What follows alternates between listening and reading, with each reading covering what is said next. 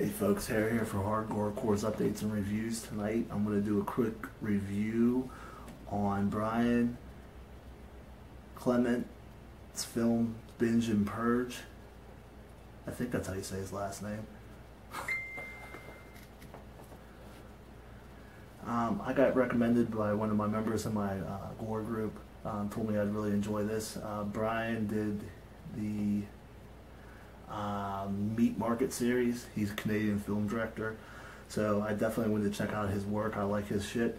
Um, Binge and Purge is basically about um, a disease that affects um, certain people, I guess. Uh, you get you get this infection where you become a cannibal, almost like a zombie, but not really. Um, it that that's basically the story where there's a group of people that are fighting these cannibals, and I guess they're like all over the city, um, uh, and they're they're like uh, wealthy people, these cannibals, and they're knocking off people, eating them and stuff. They actually had one of them had a cooking show. It was kind of funny how to make people. Um, so uh, I thought the story was pretty original. It was really cool. As far as the gore effects go, they were pretty good, top notch. What um, what happened? There was one scene where a guy was eating this guy's face or neck, and then uh, what happens was like they eat these people and then they puke, spew this like acid like vomit back up, like kind of like in The Fly. He pukes all over this guy's face and melts his face, which was kind of a cool scene.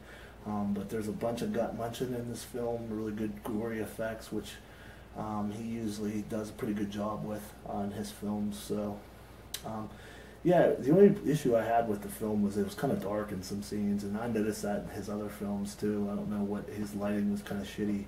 Um, so, but it didn't really affect too much of the gore scenes. Uh, you could see a lot of it. Uh, the effects were pretty good. So, um, yeah, I recommend this film if you're into uh, the, his kind of other films, this Meat Market Meat Market series.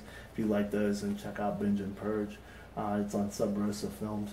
You pick up pick it up for really cheap.